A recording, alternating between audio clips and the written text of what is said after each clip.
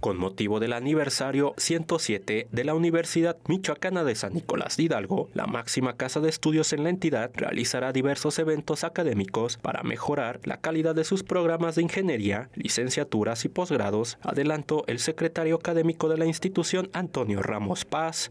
Eh, en próximos días vamos a tener en este caso una gran cantidad de eventos académicos con motivo de los, del aniversario 107 de la, de la Universidad Michoacana de San Nicolás de Hidalgo.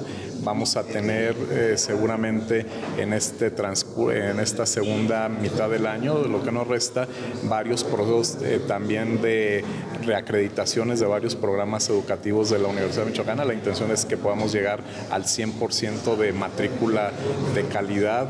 Este año la, eh, la Universidad Michoacana eh, hizo historia porque fue de las primeras universidades del país que se evalúa ante el nuevo sistema de evaluación y acreditación de la educación superior. Eh. Asimismo, el funcionario Nicolaita informó que actualmente la Universidad Michoacana mantiene en evaluación todos sus programas académicos, incluso los que acumulan generaciones de egresados y que cursaron una carrera que no fue reacreditada por organismos colegiados. Eh, en este caso, los 47 programas de licenciatura que tenemos en la universidad, todos están evaluándose.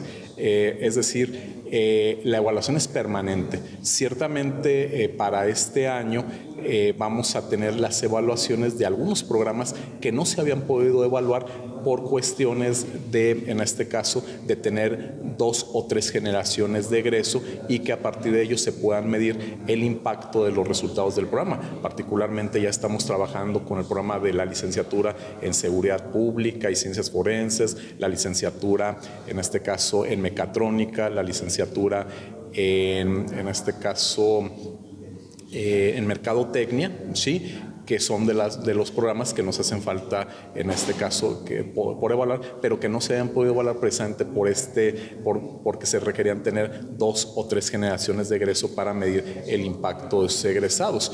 Hay algunos programas que son de reciente creación que todavía no se pueden evaluar. Programas, en este caso, por ejemplo, como el de actuaría y ciencia de datos, como el programa de, de agronegocios. Fisioterapia. Eh, fisioterapia, es correcto. Sin embargo, ya nosotros con esos programas estamos trabajando para que se tengan las bases y que en el momento en que tengamos ya dos generaciones de egreso se puedan, en este caso, evaluar.